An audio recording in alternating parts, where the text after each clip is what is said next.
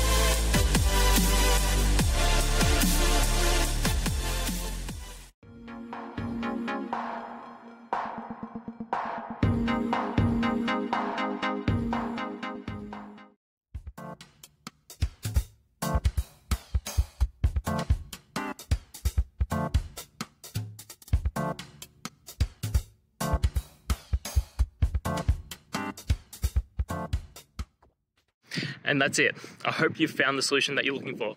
If you did, please hit subscribe. I'd really appreciate it. And until the next time that you need technical help, I hope you have a good one. Cheers.